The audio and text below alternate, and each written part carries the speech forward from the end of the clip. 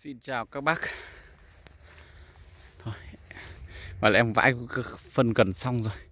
Thì em cũng tranh thủ còn mấy gốc cuối Thì em tung nốt nhé. Tung nốt sau đó là um, Sẽ đi thăm một số táo ở đây xem giới thiệu cho các bác tình hình như nào nhé.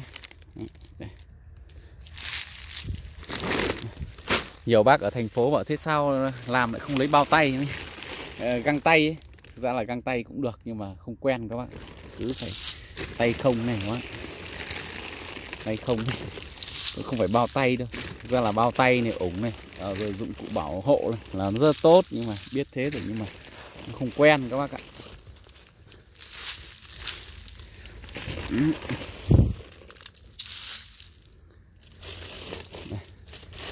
Hôm trước gãy cành này phí thật các bác ạ. Này. Hộ không để ý nhé gió ra bị gãy bị gãy mất cây trống này gãy mất cây giàn này để gãy mất cái cây này. Quả đang rất là đẹp. Nên quả nó tầm nó như thế này cơ mà các bác. Đấy. nó tầm như thế này cơ mà. Thời điểm đang là 26 tháng 10 và 20 tháng 9 âm lịch. 20 21 các bác ạ. 20 21 gì đó. Đây, quả nó lọc thì tất nhiên là nó lọc thì vẫn có thôi. Còn lại là nó phải bóng và lớn như thế này các bác nhé. Đây nó bóng này. Nó lớn này. Đấy, đây nó như thế này nữa này. Đó đây, quả này một số gió đây những cái quả này là bị gió đây. Vì nhiều anh chị bảo thế giờ nó như thế này vẹn rồi thì còn chữa được không? Mà chữa thì không chữa được nhưng mà bác cứ chăm đi cho nó lớn nữa nhỉ? Thì nó bóng uh, phun phóng rồi thì chăm sóc nó khỏe lên thì nó sẽ ok nhé. Đấy, đây nó như thế này này. Đây. Nó gãy một cái cành này. Tạo phân cho nó này chỗ này gọi là hoang để cho nó cỏ luôn không rổ không gì luôn các bác ạ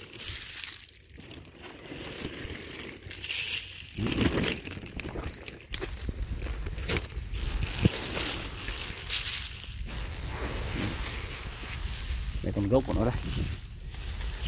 Có hôm trước có một bác ở Hà Nội nói là uh, muốn ghép một cái gốc thế này chơi năm sáu loại táo nhưng mà em sau em chả chưa có thời gian để để trả lời bác ấy được. Đấy, tức là bác ấy muốn chơi như kiểu bonsai ấy. Đấy, gốc đây đấy, thôi. Nhưng mà nếu mà chơi được thì cũng cũng cũng hay đấy. Chơi được trong chậu. Năm sáu loại táo ghép ở trên trên một cái gốc nhỉ. Cái cây kim đào mặt em trồng nó nho nhỏ đây xong ngày nó dạo xưa thì đã cắt đi để mắt ghép rồi còn một số cây nhỏ nhỏ yếu yếu đây thì tiếp tục cho phân vào nhé để lấy Đấy. Đấy. Đây cây quả đây các bác đó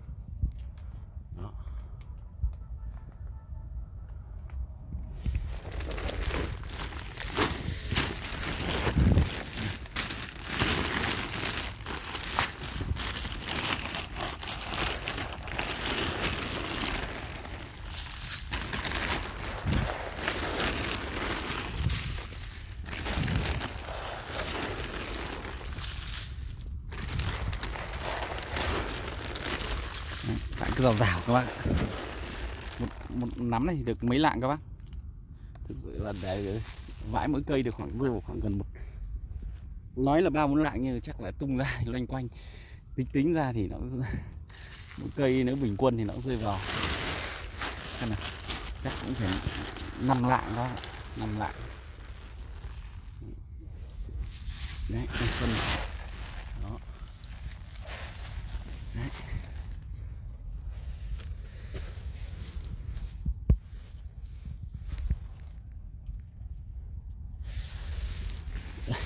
stunning.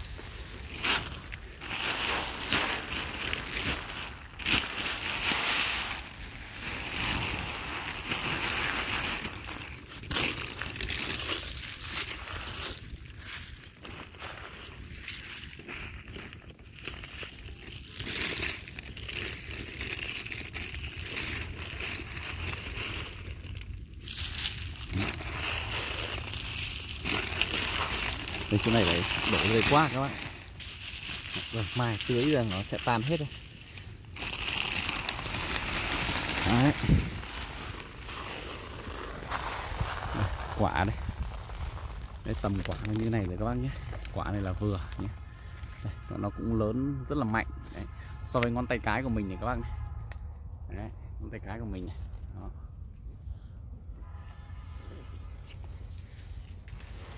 Đây, những cái quả quả này thì nó chắc khoảng tầm 20 ngày nữa là chín thôi.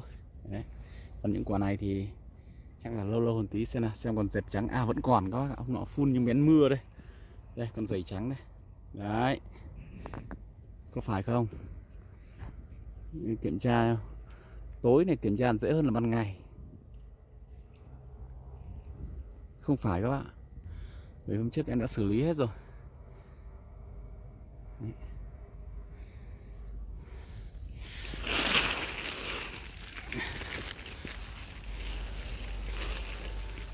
đây cây kim cây kim mặt đấy.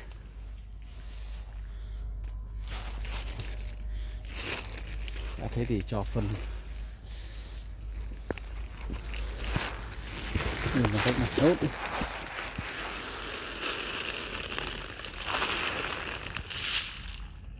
Ừ. Tình hình là như thế các bác nhé. Bây giờ thì, đây, những cái quả trên cây đây. Cái này cũng gọi là có quả chứ phải không các bác? Đấy thì tình hình là em vừa vãi phân xong bây giờ thì đi lang thang một tí các bác nhé dẫn các bác đi. Đây, đây những quả cành tay ở phía dưới đây. Đây là những quả to đấy nhé. Đây những quả to đấy các bác nhé.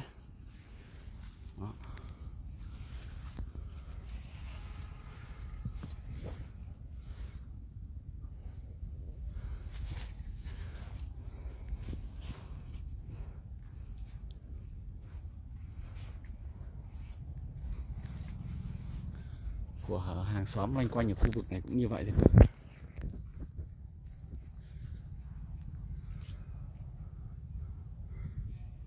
Đấy, tốc độ lớn thì cũng cũng cũng như vậy. Đây, quả đây. Nhà bác này vừa gọi là xử lý xong.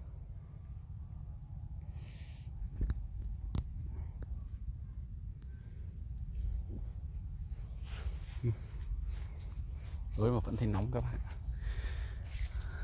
thúc táo thăm táo và bón táo.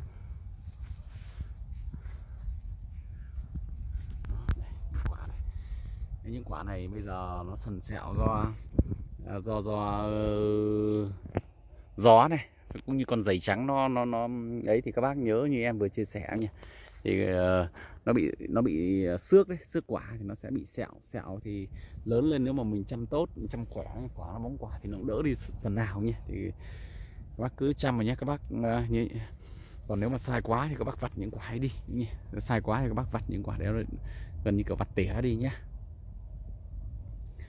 Đấy.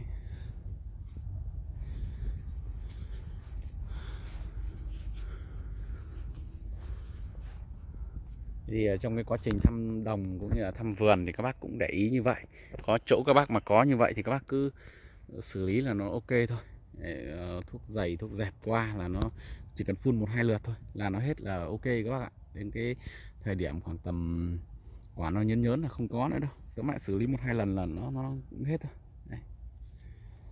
thì buổi chiều ngày hôm nay em cũng xin chia sẻ một chút như vậy nhé. Đó là các bác vãi phân, đúng không nhỉ?